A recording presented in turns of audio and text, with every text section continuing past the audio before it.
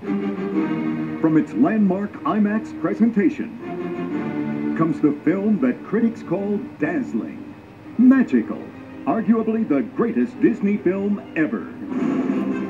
Disney presents a fantastic journey into the imagination.